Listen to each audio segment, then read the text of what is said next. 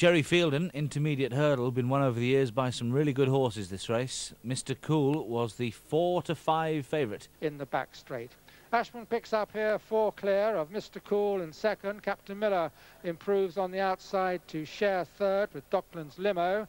In behind then comes Famore and Milligan, Harimi. Male-Ana-Mou has lost his position now, goes back through the field and just has one behind him, and that one is Wayne Mountain, who races about 12 lengths off the pace, still fairly tightly bunched as they make the turn with seven furlongs left to run. A long run now towards the next flight in the home straight.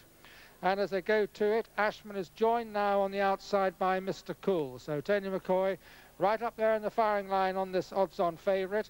Ashman on his inside and the pair racing three clear of Captain Miller, who's just edging in front of Docklands Limo. Here comes Milligan on the outside, looks to be going very easily up there into fourth place now as Docklands Limo drops back to five. So Ashman has run his race, he's dropping away. Mr. Cool is the leader, poised in behind Captain Miller, but threatening on the outside is Milligan.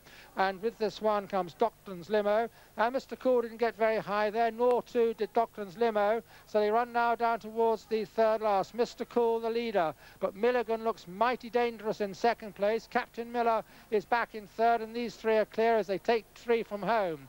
Mr. Cool, Tony McCoy looks round, and I'm sure he didn't like what he saw because Milligan was on a double handful, but suddenly is having to be rousted along, and Tony McCoy is trying to squeeze a little bit more out of Mr. McCool, runs down that flight. These two are going clear as they come on towards the final flight. Mr. Cool out in front from Milligan, a long way back then to Captain Miller and Male-Ana-Mou, in fact, is coming up into third. Here they come down towards the final flight, and these two leaders have joined issue. Don't write off Male-Ana-Mou. This one is probably running on stronger than any of them as they come towards the last. Mr. Call from Milligan, then comes Male-Ana-Mou. 100 yards to run. Mr. Call and Milligan. Male-Ana-Mou is closing with every stride back in behind them. Here they come inside the last 100 yards. Mr. Call and Male-Ana-Mou it is, who flies by the pair of them to get it close home. Male-Ana-Mou from Mr. Cool and Milligan.